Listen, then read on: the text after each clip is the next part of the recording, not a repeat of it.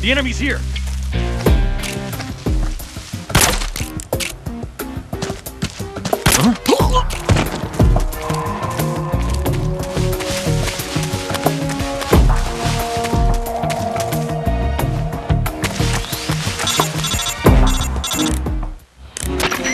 Snake, the lake is just over that cliff.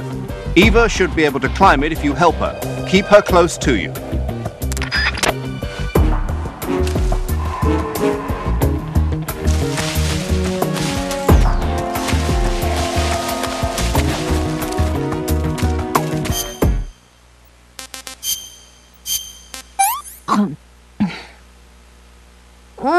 So good.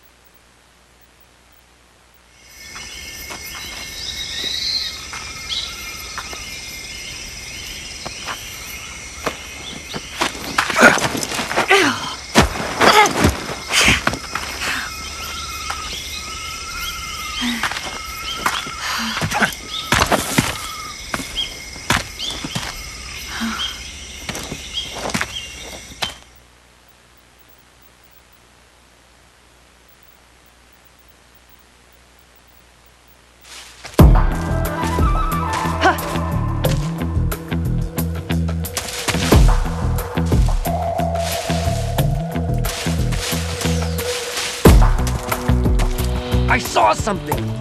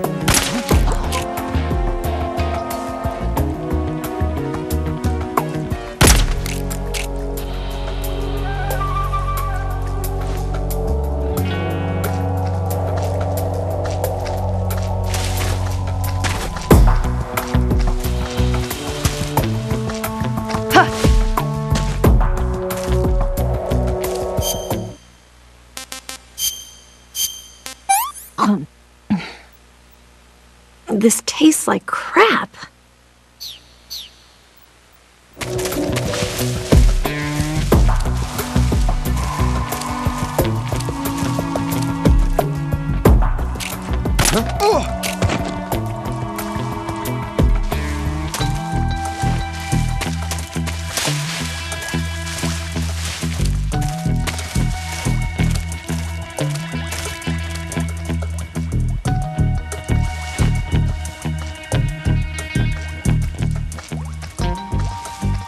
I'm so hungry.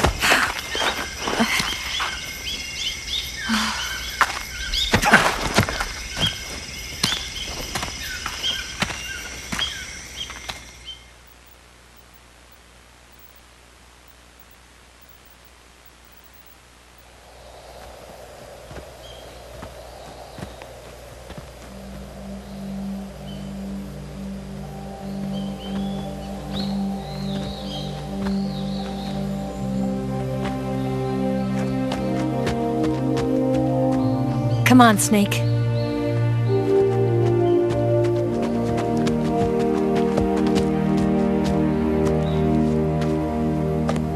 We made it. We made it. Over there.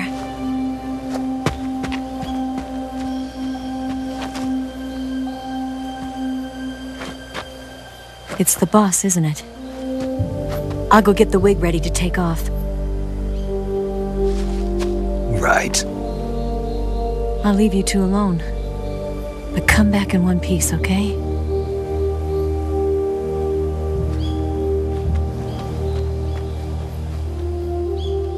Promise me!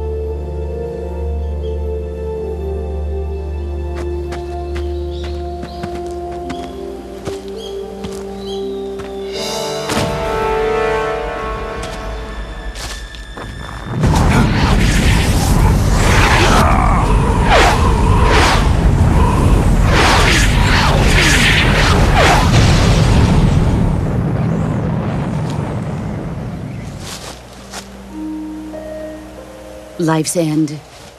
Isn't it beautiful? It's almost tragic. When life ends, it gives off a final lingering aroma. Light is but a farewell gift from the darkness to those on their way to die. I've been waiting, Snake, for a long time. Waiting for your birth, your growth, and the finality of today. Boss. Why are you doing this? Why? To make the world one again. The world used to be whole. But with the end of the Second World War, the philosophers began to fight amongst themselves, and the world was torn apart. The Cobras, my comrades who trained and fought alongside me, were torn apart as well. The foibles of politics and the march of time can turn friends into enemies just as easily as the wind changes. Ridiculous, isn't it? Yesterday's ally becomes today's opposition. And this Cold War? Think back. When I was leading the Cobras, America and Russia were fighting together. Now, consider whether America and Russia will still be enemies in the 21st century. Somehow I doubt it. Enemies change along with the times, the flow of the ages, and we soldiers are forced to play along. I didn't raise you and shape you into the man you are today just so we could face each other in battle. A soldier's skills aren't meant to be used to hurt friends. So then what is an enemy? Is there such a thing as an absolute timeless enemy? There is no such thing, and never has been.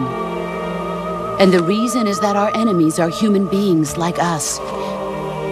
They can only be our enemies in relative terms. The world must be made whole again. The philosophers must be reunited. I will devote my skills to that purpose. And with the Colonel's money, I will achieve that end. Just as I once created the Cobras. They are my family. I may no longer be able to bear children, but I still have a family.